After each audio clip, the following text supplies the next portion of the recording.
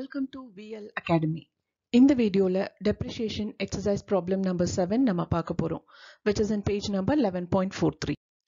இந்த ப்ராப்ளம் வந்து ரொம்ப ரொம்ப ஈஸியான ப்ராப்ளம் என்னன்னா they have purchased and asset for rupees one lakh and rate of depreciation is ten percentage just first two இயர்ஸ்க்கான depreciation value என்ன under diminishing balance method அப்படிங்கிறத கேட்டிருக்காங்க ஸோ அதை எப்படி ஒர்க் அவுட் பண்ணுறதுன்னு நம்ம பார்க்கலாம்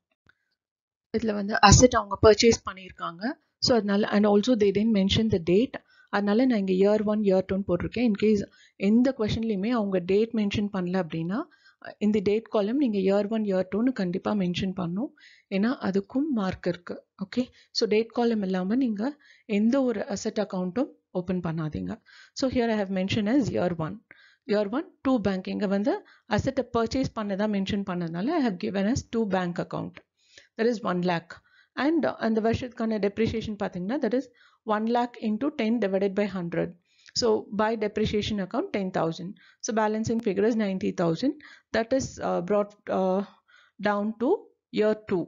on debit side ninety thousand and year two depreciation பார்த்தீங்கன்னா ninety thousand into ten by hundred written down value method அப்படிங்கிறதுனால அந்த இயருடைய அசெட் வேல்யூ என்னவோ அதுலேருந்து நம்ம கால்குலேட் பண்ணியிருக்கோம். That is nine thousand and